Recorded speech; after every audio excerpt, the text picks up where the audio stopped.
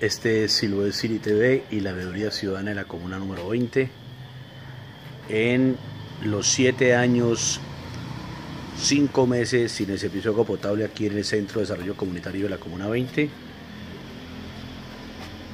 Desde agosto de 2012 hasta este enero de 2020 no hay agua potable en el Centro de Desarrollo Comunitario de la comuna 20 y se sigue resistiendo.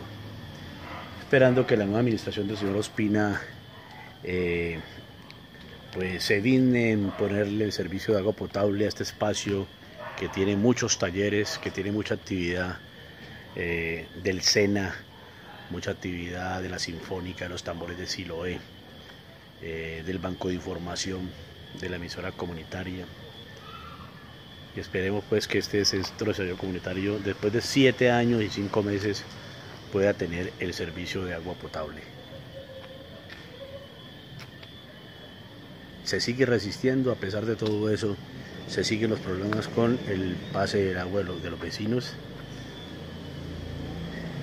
Y ya para este primer mes del año 2020 eh, se sigue resistiendo y son siete años y cinco meses que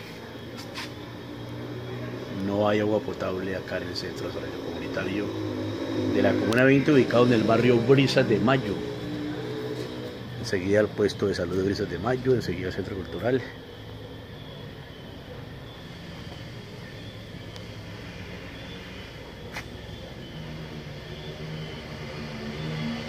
Sí, lo voy a decir y TV para un entero. En